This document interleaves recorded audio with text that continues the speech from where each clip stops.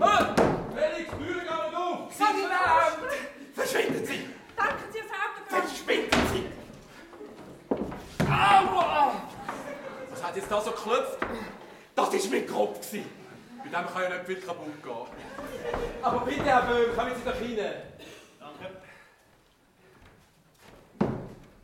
Herr Böhm, das ist der Felix, Ihr private Butler. Ah, Sie sind das. Ja, ich habe schon viel von Ihnen gehört. Sie kennen sich. Ja, es muss ein ganz spezieller Mann sein, wenn man der Isabel darf glauben Schön, dass ich Sie noch kenne. Die Freude ist ganz auf meiner Seite, Herr Böhm.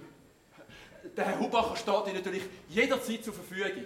Es ist mir eine grosse Ehre, Sie dürfen zu betreuen, Herr Böhm. Selbstverständlich bin ich natürlich auch rund um die Tour für Sie da, falls Sie einen speziellen Wunsch haben. Ein spezieller Wunsch. Ja. Sie haben gemeint, das sei ein Hotel und nicht ein Puff. Ähm, Das war ein Witz. gewesen. so ein bisschen. köstlich irgendwo. Einfach köstlich. Ist der Humor nicht köstlich, Felix?